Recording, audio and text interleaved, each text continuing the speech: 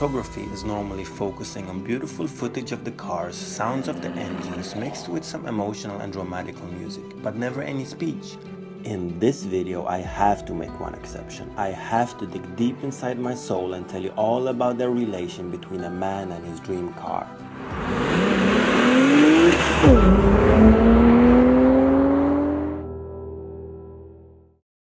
I guess that each and every one of us has that one ultimate dream car.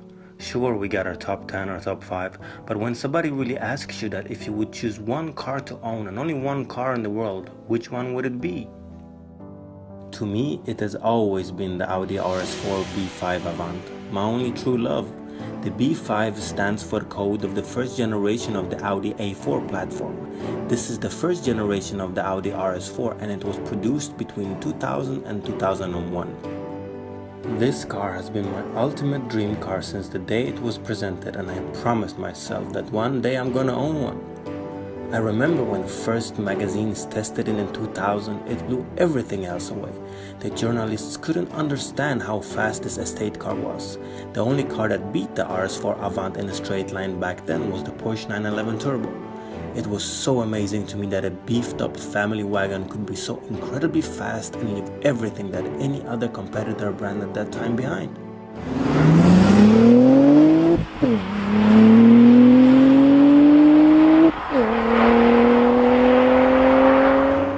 And throughout the years, I was following all the tests of the car and how well it aged and how unique and wanted it became. I started my B5 saga with buying a brand new A4 Turbo in 2001, which by the way I still have today and you have already seen it in many of my videos online throughout the years. The A4 was all I could afford back then, while the RS4 remained a wet dream. Always when I saw one on the street, I screamed like a little baby or I just had to stop and take a look at it.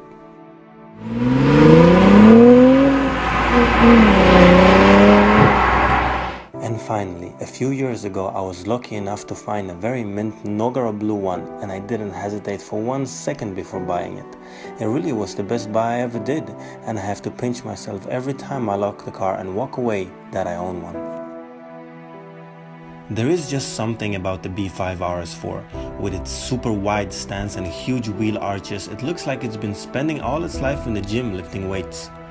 I also love the wide side skirts, the front bumper with those huge air intakes and just look at that butt. I mean, I like big butts and I cannot lie.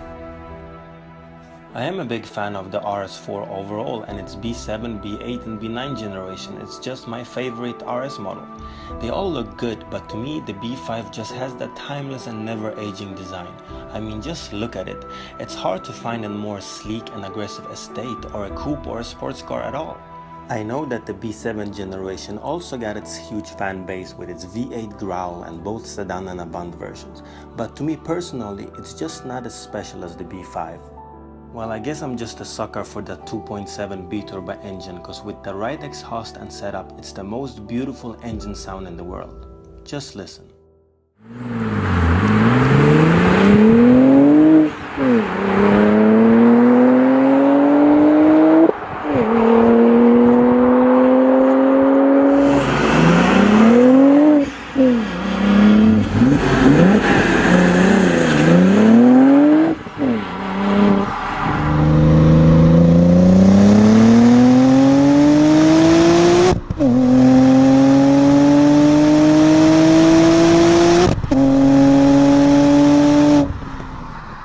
Just look at that engine bay, it's pure art. As some say, they don't make them like this anymore. I always wanted a Nogaro blue one. Since the Audi RS2 Avant in the mid-90s, the color has been a very distinctive for unique Audi RS models.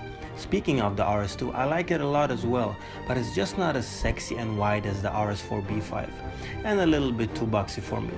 Well, back to the Nogaro Blue, and even today you can get a B9 RS4 Avant in Nogaro Blue.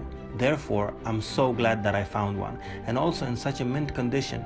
It was owned by a senior and you could see that he took care of the car very well.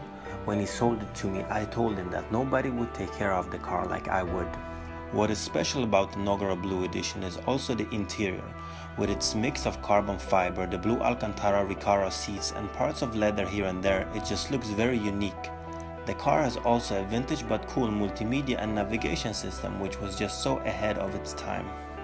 Since I bought the car a few years ago, I have only done some minor mods, yet with keeping the look as stock as possible.